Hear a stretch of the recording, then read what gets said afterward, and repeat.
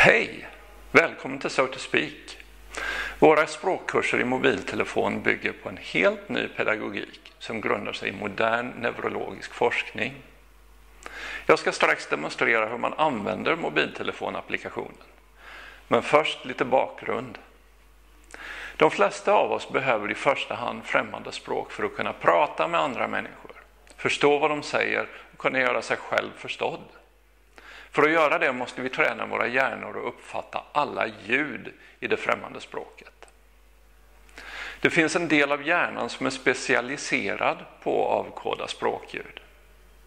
Den tränas i vårt modersmål från en tid innan vår födsel och tills vi är knappt ett år gamla. Ska vi lära oss att förstå och tala ett främmande språk väl måste den här delen av hjärnan tränas i alla språkets ljud. Det är vad vi fokuserar på i våra språkkurser. Du kommer att lära dig mycket annat som användbara ord, fraser, ordföljd, stavning. Men det som gör vår metod unik är vårt fokus på språkljud och satsmelodi. Ska man bli respekterad i en annan kultur så måste man ha ett uttal som ligger ganska nära landets språk. Och det är där vår metod är överlägsen traditionell undervisning. Jag demonstrerar här hur applikationen fungerar på en Android-telefon. Den fungerar likartat på andra telefoner, men den ser lite annorlunda ut. Man startar applikationen genom att klicka på So to speak-ikonen.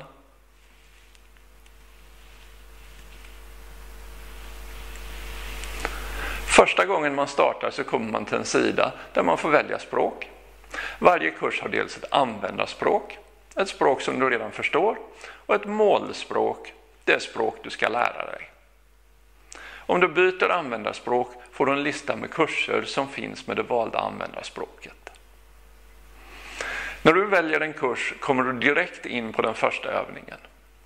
Först får du några rutor med beskrivning av språkljudet du ska öva på. Läs igenom dem noga, för där finns tips om uttal.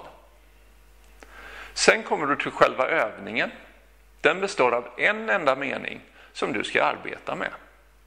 Du kommer under kursen att återkomma till samma mening tre gånger. För varje gång så ändras fokus. Först så arbetar du främst med höruppfattningen, därefter med uttal och sist med förståelse av betydelsen.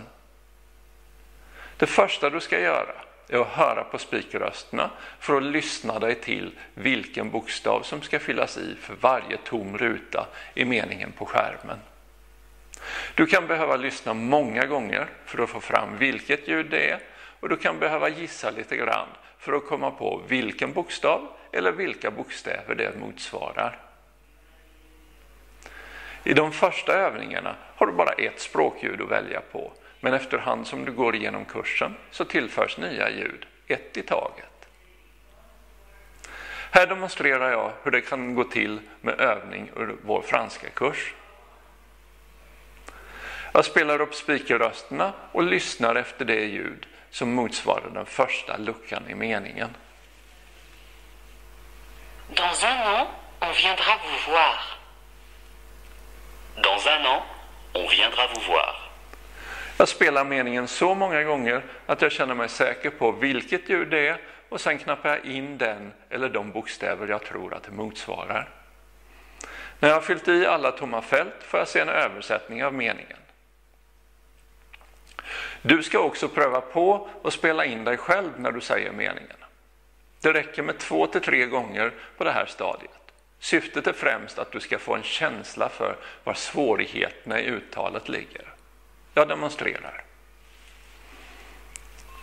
Dans un an, on viendra vous voir.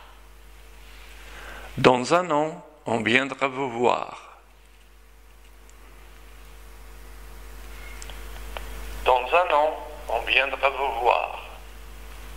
Dans un an, on viendra vous voir. När du känner dig klar med övningen kan du svepa från höger till vänster på skärmen. Du kommer då till nästa uppgift. När du har gått igenom alla uppgifterna kommer du tillbaks till den första övningen.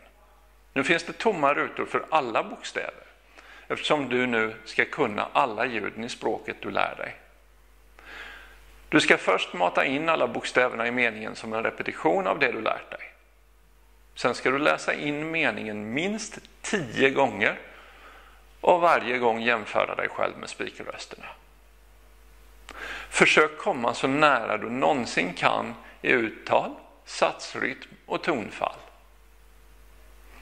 I det tredje steget har hörövningarna blivit ytterligare lite svårare. Du har nu bara en stor lucka per ord.